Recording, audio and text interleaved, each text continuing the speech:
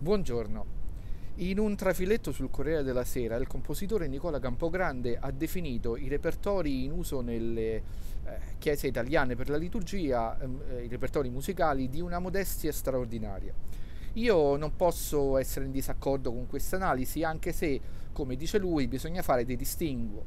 Per esempio, ci sono alcune chiese in cui ancora si capisce che la musica e la liturgia sono così legate che quando la musica è di livello eh, così modesto ne risente anche la liturgia. Eh, io per, eh, penso per esempio ad alcune chiese o basiliche qua in Italia come a Bergamo o in altri luoghi, eh, mi sembra a Trieste anche, insomma dove veramente ci si tiene che eh, la liturgia sia accompagnata eh, da musica di un livello molto elevato. Ma perché qui da noi la situazione è così eh, triste? Eh, I motivi sono vari, mi viene chiesto molte volte perché è così qui da noi e non c'è una risposta univoca, la risposta è una risposta un pochino complessa o forse è,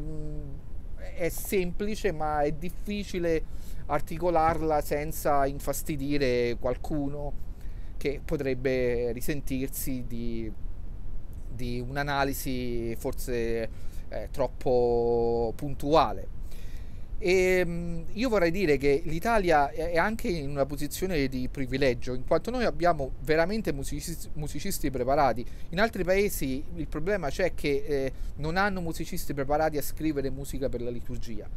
Eh, perché per scrivere musica per la liturgia non è necessario solo saper scrivere dei buoni contrappunti oppure sapere armonizzare bene le melodie. Certo, questo è importante, ma non è tutto eh, perché eh, il, il, musicista liturgico, il compositore per la liturgia ha una competenza tutta sua, deve conoscere la liturgia, deve conoscere le forme liturgiche, deve conoscere l'uso dei brani che andrà a scrivere nella liturgia, quindi calibrare i tempi, eh, calibrare eh, la, la, il, le dinamiche, il mood del pezzo. Un pezzo per la comunione non è un pezzo per l'introito, eh, un pezzo all'offertorio non è l'agnello di Dio. Insomma, ci sono proprio delle competenze che vengono soltanto dal respirare la liturgia e questo non soltanto da una conoscenza teorica che certamente è necessaria, ma da una conoscenza empirica, cioè bisogna veramente vivere nella liturgia per eh, poter aiutare gli altri a vivere la liturgia, ecco se così si può dire.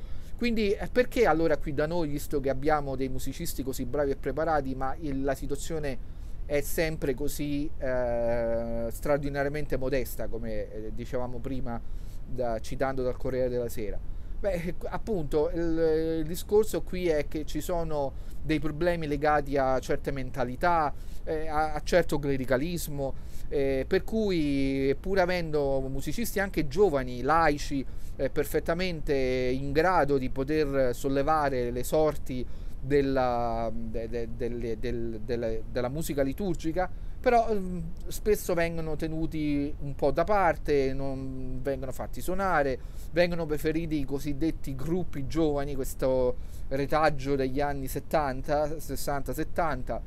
e quindi eh, la situazione continua ancora a precipitare. Io eh, faccio spesso riferimento ai pareri che mi vengono dati da visitatori, sacerdoti o vescovi che vengono dal mondo anglosassone e che eh, mi fanno notare come la musica nel nostro paese de, per la liturgia sia veramente deplorevole. Io non posso eh, dire che non è vero, ma non posso fare a meno anche di fargli notare che molte delle cattive influenze che noi abbiamo importato le abbiamo importate proprio da loro, da questo eh, da, da, queste eh, musiche che provengono eh, da, da, certo protestantesimo, poi ehm, entrate nel cattolicesimo americano e, o inglese, e, per cui poi noi ne abbiamo subito l'influenza nefasta. Quindi certo, loro hanno un po' ragione, però dovrebbero pure farsi, fare i conti in casa propria. Uh,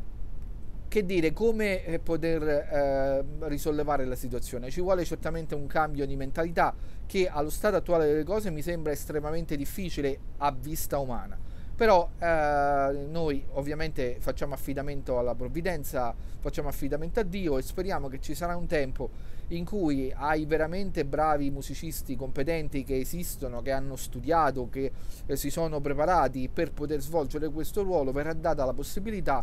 in modo che eh, possiamo finalmente partecipare a liturgie belle, con una musica bella, una musica eh, sacra, liturgica, una musica che veramente sposa il rito eh, perfettamente e che ci aiuti eh, ad elevarci, ad elevare le nostre anime alla bellezza delle cose celesti e alla bellezza delle cose divine.